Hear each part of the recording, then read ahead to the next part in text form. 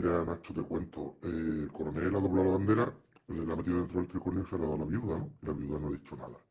Ese coronel, que estaba en el falla, que estaba en el falla, viendo la final en un palco, fue el que, al que le dijeron, hay una goma en Barbate, dijo, que salgan.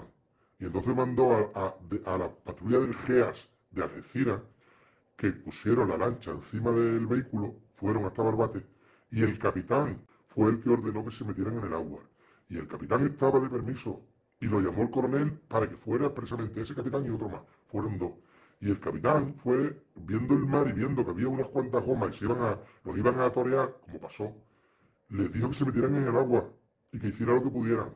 Y ese capitán está, dice, ay, me va a coger una baja psiquiátrica seguro, porque está el hombre destrozado. Digo, destrozado no, lo que estará es acojonado de haber permitido que pasara esto, porque el capitán era el que estaba allí, a pie del sitio. Tiene que haber dicho mi coronel que no van a entrar en el agua.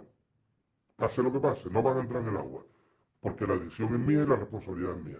Pero no dijo nada y entraron y pasó lo que pasó. Entonces ahora deberían de rodar cabeza, porque al final acaba en nada. Acaba en nada. Y ha sido una serie de, de decisiones erróneas. Claro, el capitán no se mete, el coronel menos, el coronel seguiría en el falla. No le importaba un carajo en el falla de puta madre, que se metan en el agua los guardias, que los maten, da igual, y alguien debería de pagar las consecuencias.